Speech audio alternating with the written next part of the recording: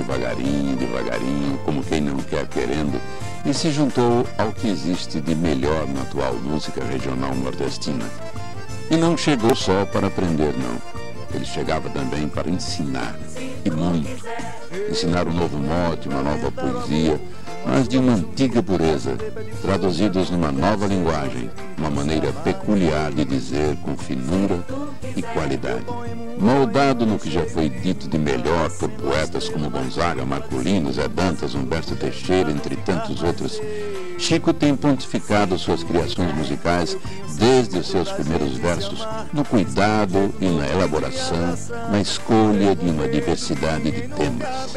Ele tem enriquecido como poucos os novos caminhos dessa sofrida e pouco reconhecida música nordestina mantendo seus braços sempre abertos para o abraço forte naqueles que recentemente vêm seguindo o seu caminhar.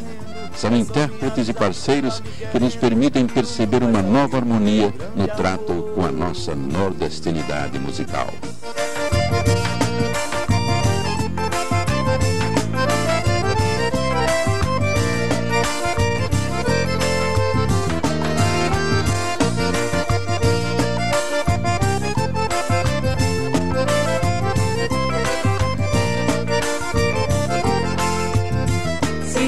is that?